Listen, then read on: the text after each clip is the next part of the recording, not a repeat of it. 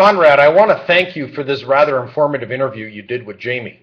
Why do I like it? Because as you can tell from my accent, I'm American and I'm looking to invest in properties in a more stable economy than what's allowed me to invest in the US. And Australia is much more stable. You guys know your stuff.